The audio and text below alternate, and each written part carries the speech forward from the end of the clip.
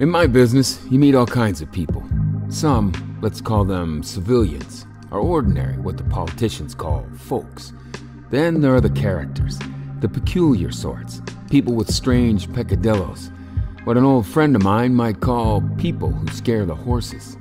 Some, let's call them the desperate, come to me because they find themselves in a situation, sometimes of their own making, and other times, well, let's just say imposed upon them. In each case, they have secrets, something they'd like to hide from the authorities and me. Things like felonies, misdemeanors, mishaps, or misunderstandings. These cases are always about one of two things money or women. But sometimes neither money nor women come in the form you'd expect. Which brings me to the case of finding Lunia. It all started one day when Jacob Lerner, a young Aussie artist nicknamed Garbo, walked into my office carrying a painting.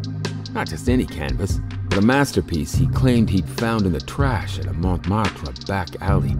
If the artwork was the original, it was one of five masterpieces stolen from the Musée des Arts Modernes de la Ville de Paris on a warm spring night in 2010 by the renowned second story burglar, L'Araignée, the spider.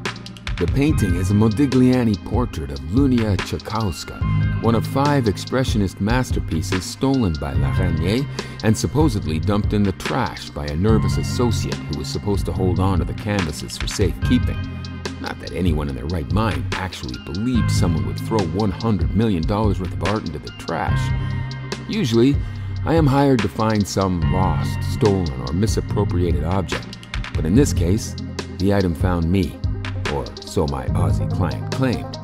If you believe the story that played out in a Paris courtroom in 2017, then it would make sense to believe the story told to me by Jacob Lerner. All I had to do was prove the painting wasn't a forgery. The trouble is, 20% of the canvases in the world's most prestigious museums are fakes, and Modigliani is one of the most frequently forged artists. Money and women.